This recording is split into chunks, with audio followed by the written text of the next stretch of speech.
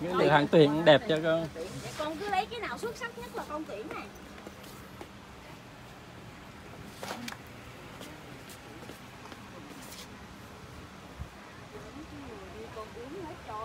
Năm nay sao mà đông bụng mà nhiều vậy? tại vì những cái mẫu này là sang nhất bông con chỉ nhiều nhưng mà không có cái nào qua được mấy cái này hết trơn mấy này là lên là sang nhất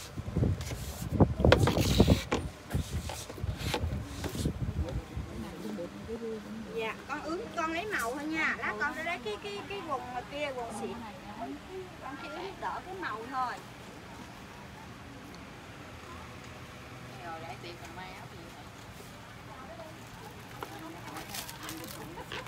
Để tiền mấy người ta mặc áo dài đó mà mình mặc gì mà đây cái này con cứ ướm đại cho cô nào nói thì nói con đây con biết con để riêng ra ha dạ nữa thôi.